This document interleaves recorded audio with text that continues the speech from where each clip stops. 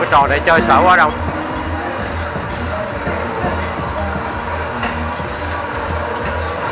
shipper.